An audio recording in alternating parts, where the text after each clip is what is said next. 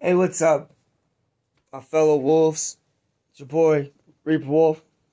Usually I do something of cooking with the wolf, but today I'm going to do something a little different. Today, my girlfriend just found out that she got her final fitting for her prosthetic. I'm proud of her.